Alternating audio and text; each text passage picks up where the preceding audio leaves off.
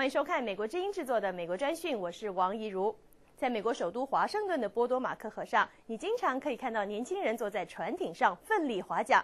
你知道吗？他们当中就有人可能会代表美国队参加今年的北京奥运会。接下来，我们就和记者方正一起到波多马克河上去看一看。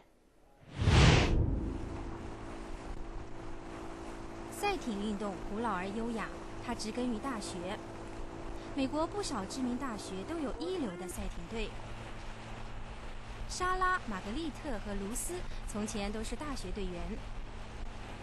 毕业以后，他们从美国其他地方相继来到首都华盛顿地区，继续赛艇生涯。流经此地的波托马克河，多年来一直是美国船艇运动的中心之一。Potomac Boat Club is one of the best. kind of feeder programs onto the national team. They have a really strong program with the coaches, um, a lot of good girls, so it's a really good place to be if you're trying to make the national team. 俱乐部大约有十位女选手先后入选过美国国家队。马特·麦迪根是他们的教练，他也是国家队的教练。Margaret, looked also like you got pretty big rhythm going down there, which was nice. It, it was at times, yes. But sometimes all of a sudden you look like you're just doing crazy stuff.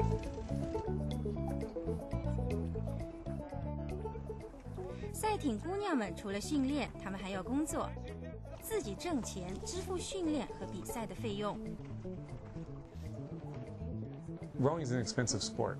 You have to travel, you have to have a car that can transport your boat. The equipment itself runs between $6,000 and $12,000 for your own shell. And another $500 for oars and another $500 for electronics in the boat. 马特业余时间才做赛艇教练，他的本职工作是福提斯万公司主管人力资源的经理。这是华盛顿地区的一家小型高科技企业，两千零五年才创办，主要的业务是为客户提供数字地图。Over here we have our uh, our marketing group marketing and sales. This is uh, Ruth Stiver, star Hi. marketer. And this is Jen Reck, another one of our rowers. And this is our data team. 对赛艇选手来说，福提斯万像是一块磁铁。公司目前有二十多个雇员，其中六人先后代表美国国家队比赛，包括公司总裁肖恩·格曼。when I was training full time, uh, the number of jobs where you could work part time and train were, were very limited, and so I just felt like moving furniture and working at a barbecue place and so forth.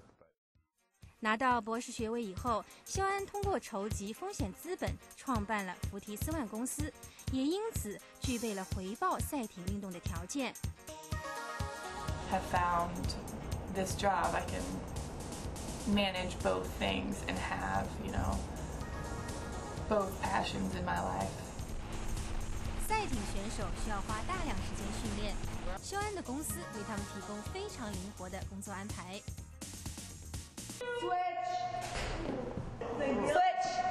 这些赛艇选手每天清晨五点半左右就要赶到波托马克俱乐部，六点开始正式训练。今天他们要参加体能测试。在划船机上持续冲刺二十多分钟。We test every four weeks, and what it does is enable the athletes to see progress, see how they're progressing, help build confidence with what they're doing, and and also compare themselves to others around the country. Attention. 赛艇运动员将划船机戏称为“痛苦机”，他们必须协调好全身主要的肌肉群，逼近自己爆发力和耐力的极限，才能取得好成绩。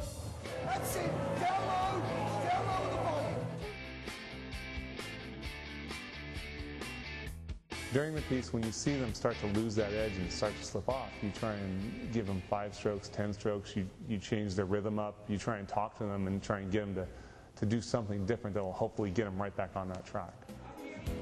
虽然每天清晨两个多小时的训练几乎将体能消耗干净，但这只是他们每天的第一项任务。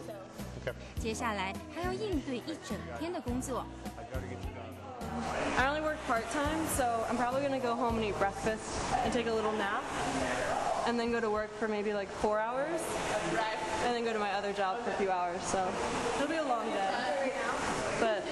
But like I also plan for this, like I prepare for this, so.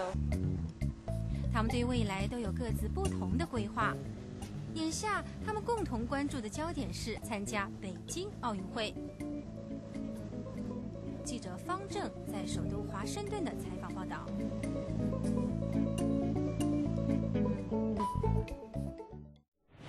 好了，今天节目的时间又到了，谢谢您收看美国之音制作的美国专讯，我是王一如，我们下星期再见。